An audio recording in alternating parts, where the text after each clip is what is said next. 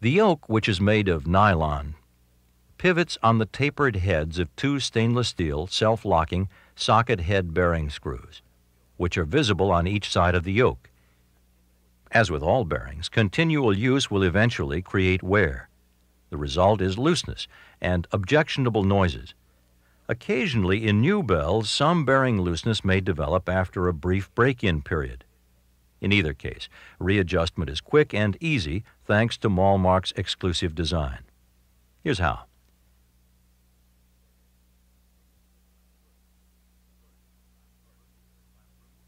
First, remove the clapper assembly from the bell.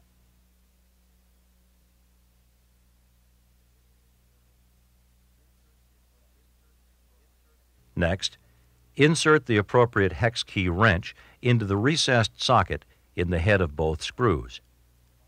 Turn the wrench clockwise a fraction of a turn each time. It is not necessary to oil bearing screws. Also make sure not to remove and reinsert the screws unnecessarily. This will reduce the locking effect. Malmark's unique clapper is completely adjustable. That means you can select which lobe of the clapper strikes the bell. Choose soft, medium, or hard. You'll feel the clapper snap into position. Adjusting the clapper setting changes the timbre of the bell by controlling the strength of the 12th overtone. On the G4 bell, the soft position surface is covered with felt, producing a very soft, muted sound.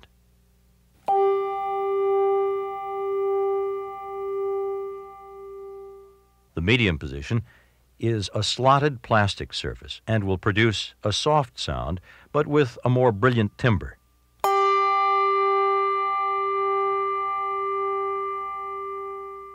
The hard setting uses a solid plastic surface, producing a brilliant, crisp sound.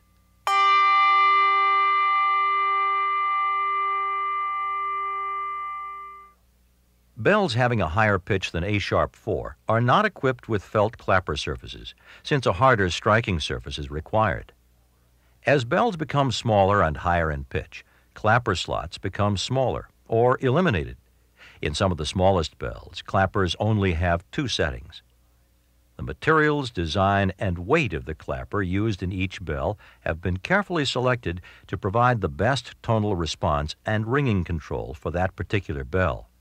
For this reason, a clapper from one bell should not be interchanged with a clapper from another bell. Just above the clapper is the clapper indexing spring. Make sure, if you do remove and replace the clapper, that the spring is properly aligned. An imaginary line through the center slots should be parallel to the yoke rocker arms. Just under the clapper, on some of the larger handbells, you will find a round metal cylinder held by a set screw. This is to add weight to the clapper and provide a smoother ringing action.